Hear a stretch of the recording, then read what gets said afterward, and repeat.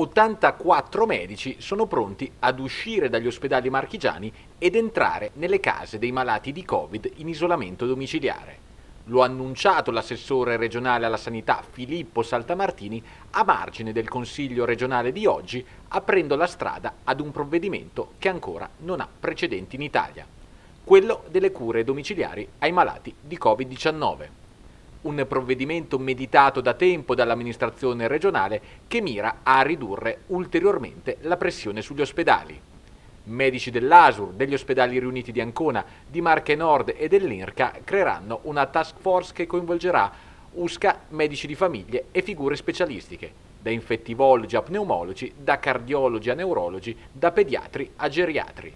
Le terapie a disposizione saranno il remdesivir e gli anticorpi monoclonali da somministrare con infusioni in ospedale per poi rientrare a domicilio.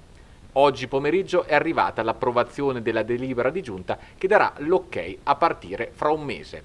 Un provvedimento particolarmente applaudito dal presidente della regione Francesco Acquaroli ad un anno esatto dal voto alle urne che l'ha eletto governatore.